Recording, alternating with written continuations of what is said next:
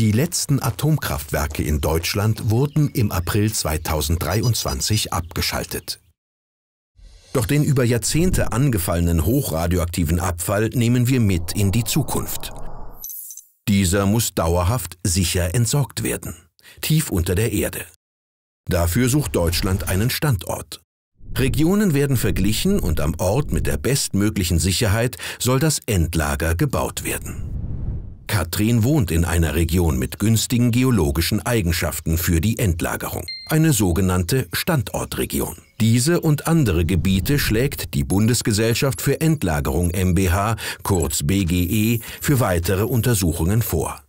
Bevor das Unternehmen diese Gebiete vorschlägt, hat es eingehend die vorhandenen geowissenschaftlichen Daten geprüft. Doch wie können sich die Menschen in diesen Regionen an der Endlagersuche beteiligen?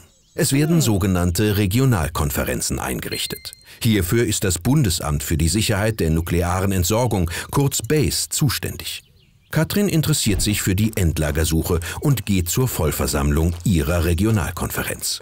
Jede Person, die über 16 ist und wie Katrin hier lebt, kann daran teilnehmen. Auch Menschen aus angrenzenden Regionen können dabei sein. Diese Regionen können auch in einem Nachbarland liegen. Wichtig zu wissen ist, dass die Regionalkonferenzen selbst organisiert arbeiten. Das bedeutet, sie können selbst entscheiden, wie sie zusammenarbeiten wollen. Und welche Gestaltungsmöglichkeiten haben die Regionalkonferenzen? Katrin und die anderen TeilnehmerInnen der Regionalkonferenz können beispielsweise den BGE-Vorschlag, wonach ihre Region weiter untersucht werden soll, überprüfen lassen. Konkret sieht das so aus. Sie können Mängel benennen und eine Nachprüfung verlangen. Stimmt das BASE zu, muss die BGE ihren Vorschlag überarbeiten. Wenn alle Nachprüfungen abgeschlossen sind, entscheidet anschließend der Bundestag, welche Regionen weiter untersucht werden. Damit Katrin und die anderen in der Lage sind, den BGE-Vorschlag zu bewerten, können sie sich wissenschaftliche Unterstützung holen. ExpertInnen erstellen dann zum Beispiel Gutachten. Jede Regionalkonferenz bekommt Geld und kann eigenes Personal für eine Geschäftsstelle einstellen. Diese unterstützt die Regionalkonferenz dann bei all ihren Aufgaben. Dazu kann unter anderem gehören, die Menschen in der Region über die Endlagersuche mit einer eigenen Öffentlichkeitsarbeit zu informieren. Die Regionalkonferenzen können sich aber auch mit anderen Themen befassen.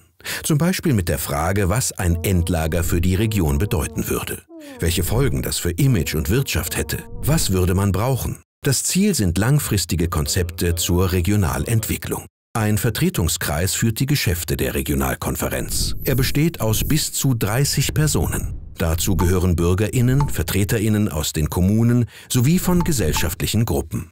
Der Vertretungskreis wird von der Vollversammlung gewählt. Beide tauschen sich regelmäßig miteinander aus. Wie das konkret geschieht, entscheidet jede Regionalkonferenz selbst. Eine oder mehrere Personen aus der Regionalkonferenz werden zudem in den Rat der Regionen entsandt.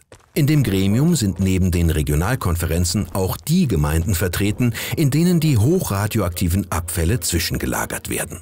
Als vermittelnde Instanz begleitet der Rat der Regionen die Endlagersuche bis zum Schluss. Katrins Regionalkonferenz besteht so lange, wie die Region Teil des Suchverfahrens ist. Am Ende der Endlagersuche legt der Bundestag einen Standort fest. Die Regionalkonferenz dieser Region wirkt dann an der abschließenden Standortvereinbarung mit.